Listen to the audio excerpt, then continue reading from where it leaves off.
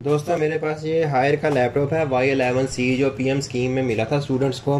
तो इसमें इसकी ना हार्ड डिस्क बहुत वीक हो जाती है जल्दी और बहुत ही बोरिंग स्पीड है इसकी स्टार्ट की भी और कभी कभार तो स्टार्ट ही नहीं सही होता। यहाँ पर ये देखें, इस जगह पर काफ़ी देर तक खड़ा रहता है। ये मैं अभी स्टार्ट करके दिखाता हूँ आपको। ये देखें, यहाँ पर ये खड़ा स्टील रहेगा। तो मैं आपको बताता हूँ कि मैंने इसमें स्पीड तेज़ करने के लिए क्या किया है। तो ये आप इसके सारे स्क्रूज यहाँ से खोल लें। असल में ये हार्ड उन्होंने बहुत ही वीक क्लास की, हल्की क्लास की लगाई है। तो मैं इससे बहुत बोर हो चुका हूँ। तो मैंने क्या किया है कि इसको रिमूव कर दूँगा। यहाँ से। और इसमें बहुत ही एक फास्ट स्पीड वाली चीज़ लगाऊँगा, वो मैं अभी बताता हूँ कि वो क्या चीज़ है।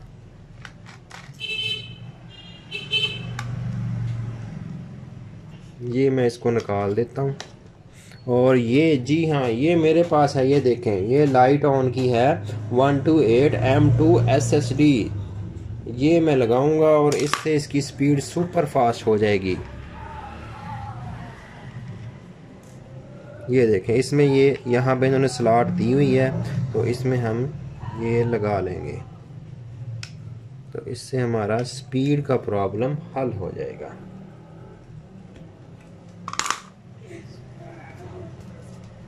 ये इसको वापस बैग पैक कर दें, और